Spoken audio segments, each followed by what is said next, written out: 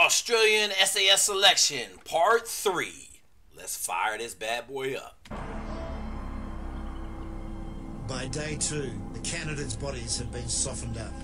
The regiment now begins to work on their mind. What are your principles? Loyalty above all other things. Sir. That's one principle. Strike first, strike fast, strike often. Those are my principles. Interviews conducted by serving and veteran SAS soldiers probe for signs of mental weakness. Relax. They begin with candidate 53, a physical instructor with the military. So you like being PDI?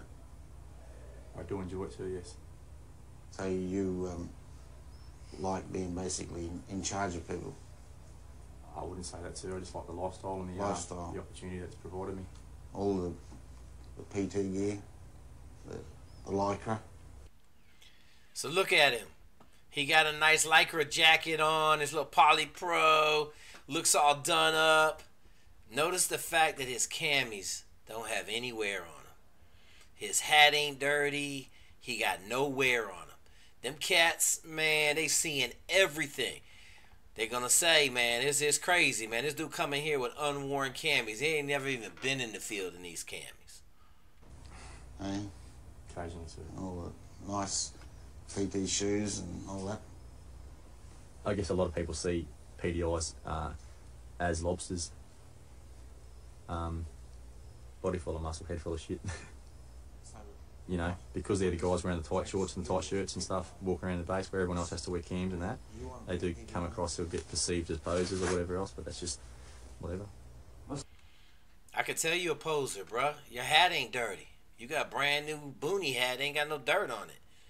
I mean, shoot, I ain't got to say no more than that right there, partner. You calling yourself a poser, man, that's what it is. seen PDIs like you come and go before. It's all too hard. Living in the field, bit of rain like this, cold, hungry. You might be ripped and a little bit toned and past a few of your PT sessions now. You don't get that tucker and that fuel in. What's going to happen to that little body you got? It's going to shrink. You're not going to be able to do what you need to do. No, wasn't me at all. They have a perception of who they think I am, and obviously they're trying to either solidify that in their own minds or me prove them wrong. So I had a PI in my class when I was in SQT, man. Dude's a stud.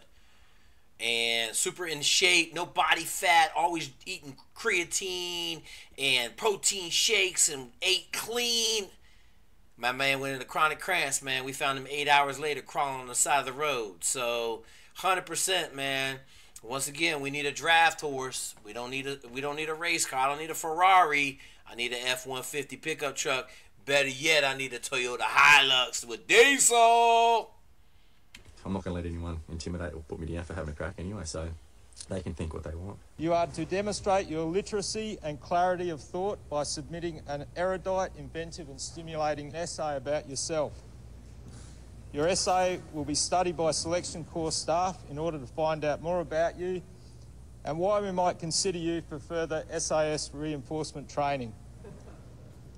Stop the presses. I just failed out of Australian SAS selection. I gotta write a paper. At this point in my life, I was completely illiterate. That page would be full of incomplete sentences without punctuation and a ton of misspelled words. Well, we're about three minutes and 58 seconds into this video, and your boy just exited stage left because he's gonna have to write an essay, and it ain't gonna be good, and they're gonna be laughing, and God help me if I ever have to write a report. Woo! I'm already done, folks. Three minutes and 58 seconds in, they got me to write an essay. Now, I'm gonna tell you how I found a workaround. I might have showed up with a couple essays already written. Pray to God they didn't change the topic. Crikey, I've never seen this in 30 years. A bloody flip book.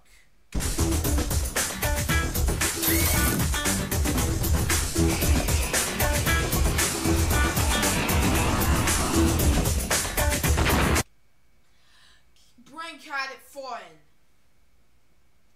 Cadet 4, what the hell am I looking at? That reading and writing stuff is overrated. I came here to become Neo. Dismissed. He's creative. He found a way to win. Candidate 130's confident entrance quickly evaporates as the interviewers assess his personal essay. What you've written here seems to me as a whole heap of shit. It doesn't tell me anything. in an attempt to be different, I wrote, it wasn't flippant, it was light-hearted, merely a, a tale of my life, like Roald Dahl. And um, when they told me they couldn't stand to read it, I was pretty upset and I was on the back foot from there. They did it on purpose, folks. He tried to go out of the way and do something different. You got to be able to stand on your choices. You're going to see your boy come up next. You're going to see how it went down. Tell me no bullshit about your life. So I believe I am who I am uh, due to nine years boarding school. Taught me the value of comradeship, friendship, loyalty, strength, old school principles. I, that's me, sir, through and through. I still don't know anything about you. What's your family life like? Families are they divorced, sir? Um, they don't really talk to each other, but uh, I am their go-between. My principles come from my mother more so than my father. What are your principles? Loyalty above all other things, sir. That's one principle. Strike first, strike fast, strike often. Those are my principles. Honour, friendship, sticking by your mates. Think you do a good job in a small team? Absolutely, sir. Absolutely. You don't reckon you're being a little bit arrogant with that? No, sir. So how long have you been thinking about doing the selection course? Uh, quite a few years, sir. Quite a few Um, years. What, before O flight? Yes, sir. Um, so it's I, taking a long time to really sort of I had some growing up to do, sir. growing up. The Why- arrogance that is perceived, that, that had to be it, controlled. that was there, was it? Yes, sir. Why were you so arrogant? It's probably a defensive um, reaction, sir, to the unknown. Um, What are you afraid of? failure. Uh, failure. Yes, sir. What, So failure to what? Failure to what? To live up to my own expectations, sir. There were so many points I wanted to bring across, but the questions were just, wow, I, I didn't achieve what I wanted to. I really didn't, and I have to make up for it. Move the bar quickly. Feet are shoulder width apart. I'm just going to say this. In those interviews, you can overcome a lot by your physical prowess and your ability to kick butt out here. As long as you don't say nothing crazy in there, they're looking at you, they're taking notes. Um, in my opinion, you know, being driven by failure and all that other stuff, there's a lot of motivations to go to selection. The end of the day, you got to be able to perform in the physical tasks. And then if they see a problem later on, then you're just not going to select. Give up, man. It is easy to give up. It is easy. On the third day, a brutal PT session provides the staff with a clearer picture of how the men are travelling. By day three, you will see a delineation between the strong members on the course and the people that haven't prepared themselves or probably aren't going to finish the course successfully. So one of the things that's very interesting at SEAL training on day three, you have probably 20% of your class that cannot move anymore.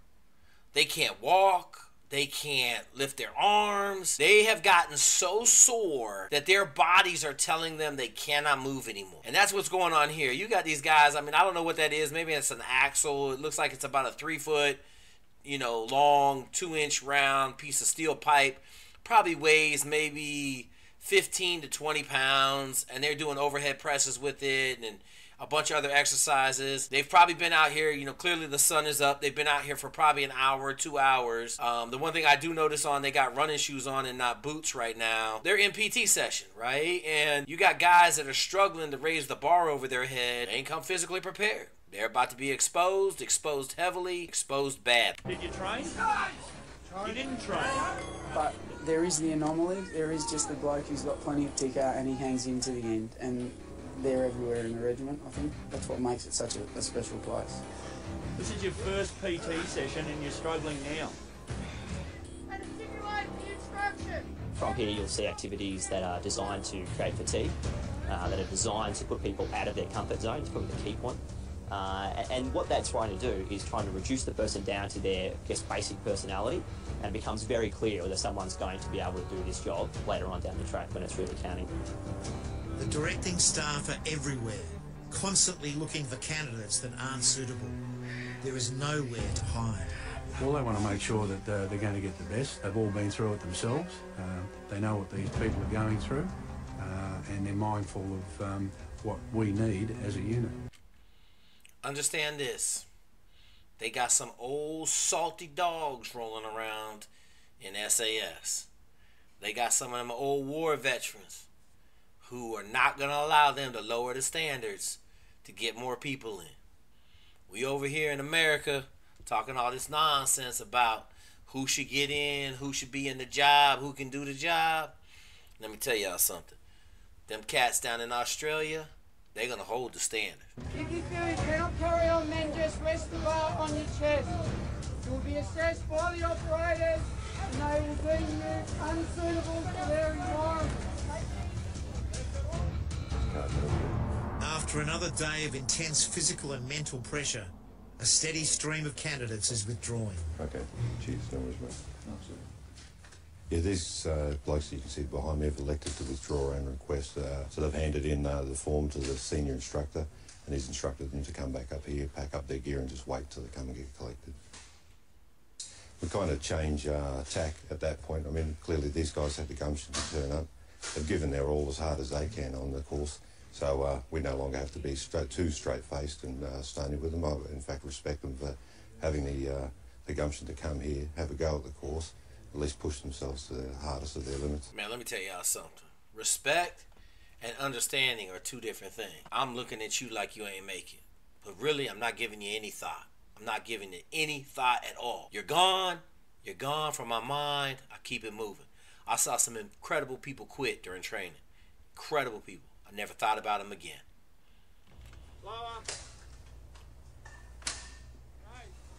Once they have been psychologically assessed, they are left to reflect in what is known as Camp Happy. As you see at the start of the course, soldiers doubt themselves. They got families. So I'm just gonna tell you this, man. Camp Happy, X Division, and BUD/S, they got that same tent. They got that same tent. I'm gonna tell you this: them cats in that tent ain't happy though.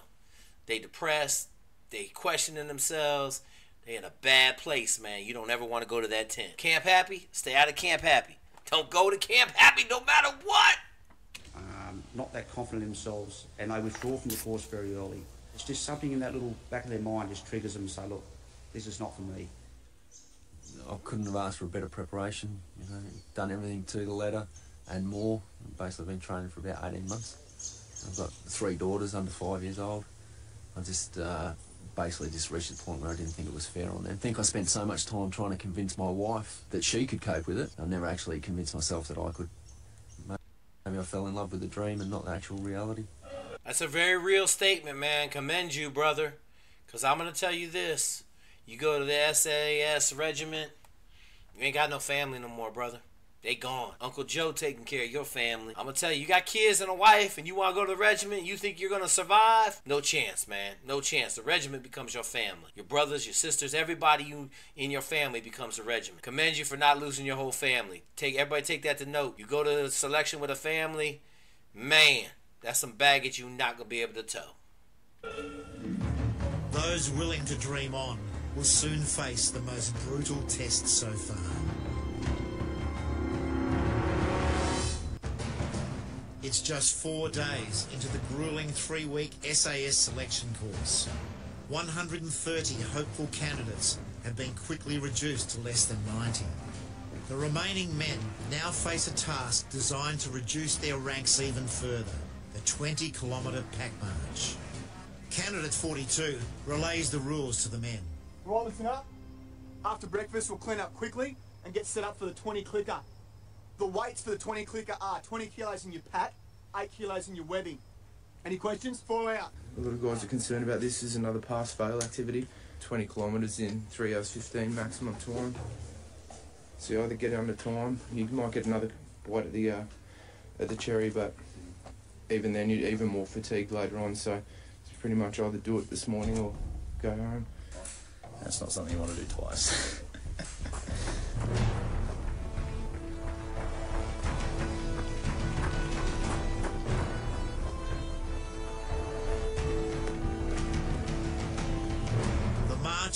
equivalent of a half marathon with a bag of bricks on your back. Only those prepared to push through the pain barrier will succeed.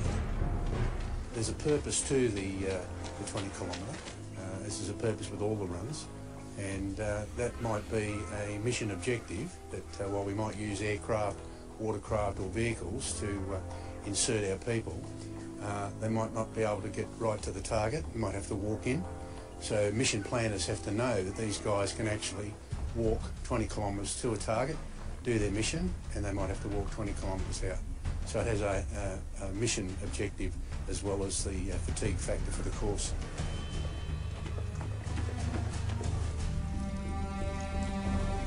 Down in Australia, it's hot, really hot. Clearly, they're not making them pack all their water on this 20 uh, kilometer march. They got water bottles, water buffaloes, refuel stations. These guys are hitting it, taking a break. Man, mm, mm.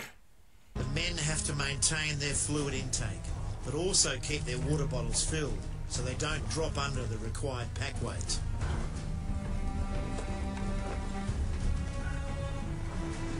And that weight can be too much to bear. Yeah, what happened? Lower back. Your lower back. Get any form? Backs, hamstrings, calf muscle, in that order. Not prepared. Didn't do enough burgening. Didn't do enough rocking before you got here, partner. Now your time has come, and you are on your way out.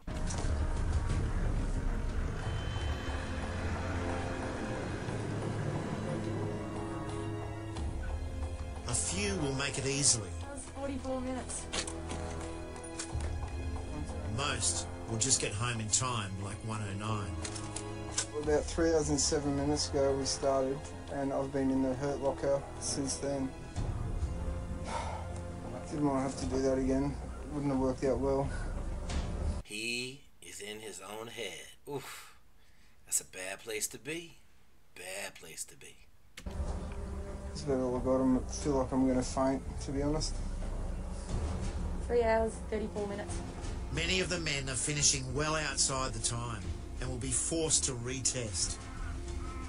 Amongst them is 81, one of the youngest candidates, only 22 years old.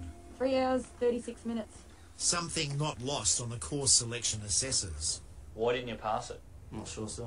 That 20 clicker is easy. You're going to be climbing up the sides of some features in the coming week that high that you'll probably sit beside God. And you found that 20k is too hard. You didn't achieve that. I'm looking at a 16 year old boy sitting in front of me. I'm just concerned that your age and your maturity, you're still, you're not right. You're still underdone. Underdone. Put him back in the oven. Same thing I say. There's a reason only one out of 200 high school graduates make it through SEAL training. They underdone. They're not ready yet. They ain't got that back. Put him back in the oven for a couple years. He'll come back, have a better understanding of what he needs to do, more mature, physically mature body, able to crush train. I think you lack confidence in yourself. No, I don't believe that's true, sir. Prove me wrong, 81. If you pass that 20 clicker, it'll change my opinion of what I've just said, reference your confidence and your ability in yourself. I think it's just uh, that was just a scare tactic for him to see how I'd react.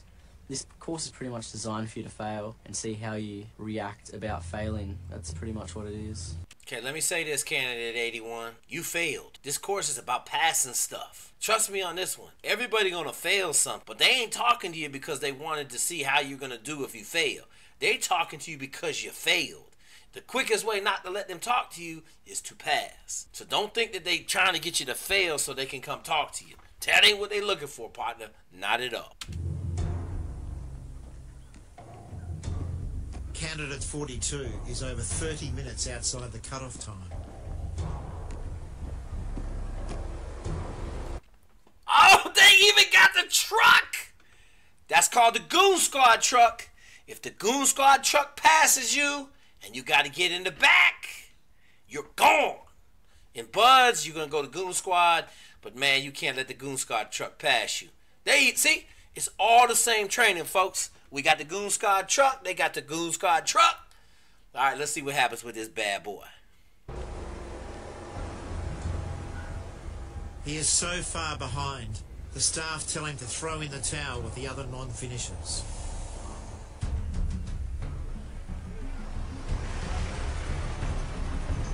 Jump in, let's go. We're going to jump in.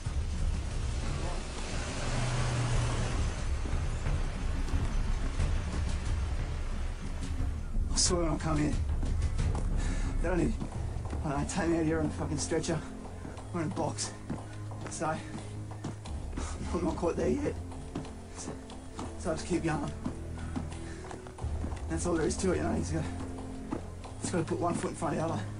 However, 42's determined words are worth nothing when only numbers count. Three hours and 52. You had three hours and 15 to do it. Yeah? That's a long way over time. Yes, it is, sir. So what I'm looking at is I don't believe you've done the correct training or done enough preparation or hard training to get yourself across the line. That was an individual test. You're under no duress from PDI or staff. That was entirely up to you to perform, and you didn't perform at all. You're looking down the barrel of another 20 kilometres in a day or so. Sir. When I got to SEAL training, on the very first day, we had a four mile time run. The cutoff was 32 minutes. I ran a 38 minute, 50 second four mile. The difference between SEAL training, I was just in the beginning phases. So I was able to work out at night, run myself into condition, because that was October and we didn't class up until January. This type of selection, boy, you better come there in world class condition. Massive amounts of volume. You better be crushing these numbers because there is no place or time for you to get in shape in these environments. My man right here, he learned that the hard way. well as up and coming PT sessions that are coming on. So physically, I don't think that you've got what it takes to be here. The interview certainly, um, I guess it's hard not to be intimidated, you know. I mean, like the, at the end of the day with the 20 clicker, the cut-off's 315 and I was outside that, so I, I can't control whether they, they choose me. All I can do is come here, give 100% on, on everything, you know. Um, well, what, what can you do? Like, it's like I said to you the other day, the, the worst thing I could do is stop. Let me just say this. There's a lot of guys that show up to training and think all I got to do is give 100%. 100% is the standard in these environments of these elite special operations teams in the world. 100% is where you're expected to operate all the time. If you can't meet 100%, then you're not going to be there. So now we got to marry 100% with the 3 minute 3 hour and 15 minute standard. You came in at 2 at 350. Your 100% ain't close to the standard. Therefore, you ain't going to be here.